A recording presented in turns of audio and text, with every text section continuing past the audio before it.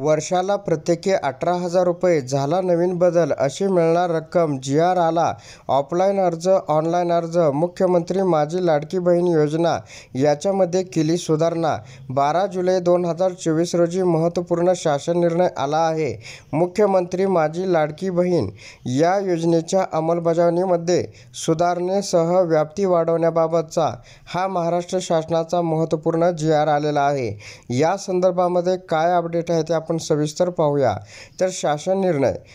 मुख्यमंत्री माझी लाडकी बहीण या योजनेच्या अंमलबजावणी प्रभावीपणे व सुलभतेने होण्यासाठी खालील बाबींची स्पष्टता करण्यास येऊन त्यास मान्यता देण्यात येत आहे. कुटुंबाची व्याख्या.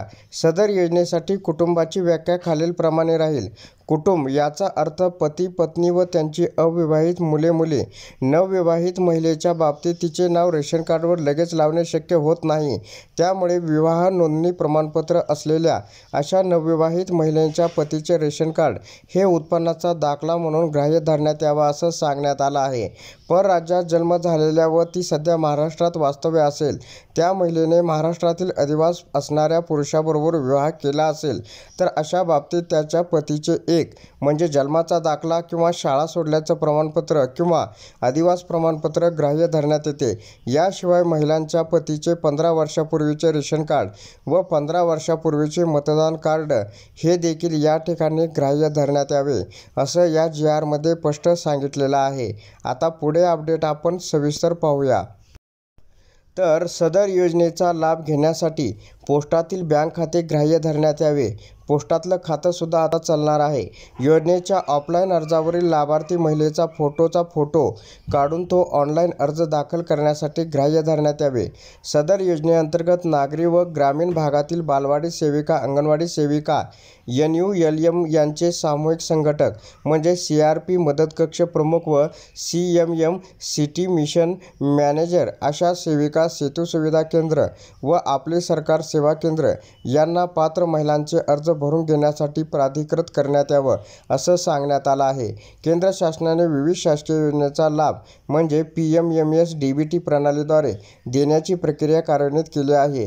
केंद्र राज्य शासनाच्या विविध योजनांमधील उदाहरण पी एम किसान पोषण या ठिकाणी मनरेगा पी एम सुविधा G S Y P M M V Y व अन्य स तत्सम योजना जे लाभार्थी मुख्यमंत्री माझी लाडकी बहीण या योजनेच्या अटी शर्तीनुसार पात्र ठरतील.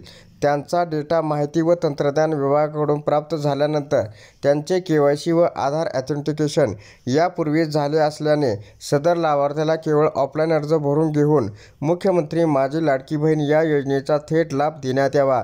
मात्र हे करीत असताना पात्र लाभार्थी महिलाकडून सदर योजनेचा अर्जसुद्धा भरून घेण्यात यावा असं सांगण्यात आलं आहे.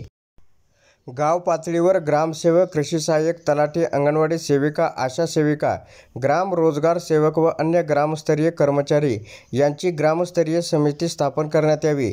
सदर समितीचे संयोजक ग्रामसेवक व सदस्य सचिव अंगणवाडी सेविका राहतील. समितीने सदर योजनेसाठी गाव पातळीवर शिबिर आयोजित करून त्यामध्ये ऑनलाईन तसेच ऑफलाईन या दोन्ही पद्धतीने लाभार्थ्याची नोंदणी करण्यात यावी. ऑफलाईन अर्ज यशावकाश ॲप पोर्टलवर भरण्यात यावे. ग्राम ग्रामस्तरीय समितीमार्फत अंतिम लाभार्थी महिलांच्या यादीत प्रत्येक शनिवारी व आवश्यकतेनुसार गाव चावडीवर वाचन करण्यात यावे.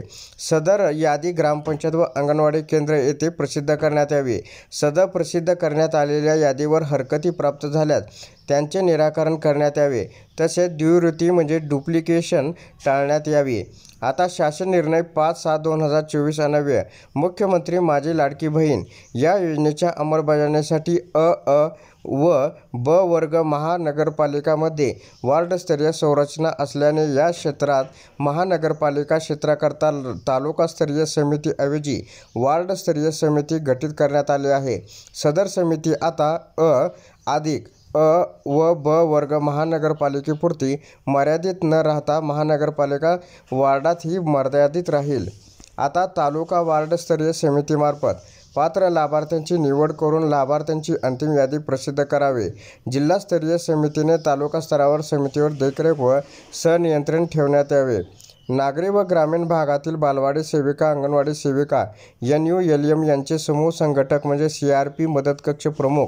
या ठिकाणी सिटी मिशन मॅनेजर आशा सेविका सेतू सुविधा केंद्र अंगणवाडी पर्यवेक्षक ग्रामसेवक व आपले सरकार या केंद्र लाभार्थ्यांची अंतिम यादी प्रसिद्ध झाल्यानंतर एकूण पात्र लाभार्थ्याचे अर्ज सादर केल्याप्रमाणे आणि सदर ऑनलाईन ॲप पोर्टल प्रति यशस्वी पात्र लाभार्थ्याची नोंद झाल्यानंतर सक्सेसफुल ऑनलाईन अपडेशन बे बेनिसरी म्हणजे पन्नास रुपये याप्रमाणे प्रोत्साहन भत्ता या ठिकाणी देण्यात येणार आहे. तर अशा प्रकारे महिलांसाठी एक महत्त्वपूर्ण अपडेट होती. अशा प्रकारच्या महत्त्वपूर्ण अपडेट जाणून घेण्यासाठी आताच आपल्या चॅनलला सबस्क्राईब व शेअर करा.